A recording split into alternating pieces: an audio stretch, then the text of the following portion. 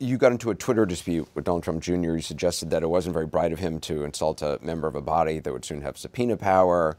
Some people have suggested that was a, you know, abuse of power on your part. Well, if he felt genuinely threatened by me, I apologize. But uh, I think that, frankly, it's legal advice that any person would give. you do know that most politicians don't apologize for anything.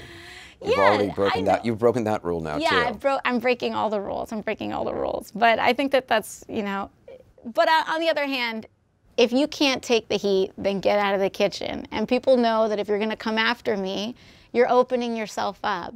People know that my style is sarcastic but honest, and I, I take people at their word, and I will hold them accountable as well. Am I being serious and saying any person who makes fun of me is going to face consequences? Absolutely not. But, uh, but I will take you down a peg if, if you're not being fair.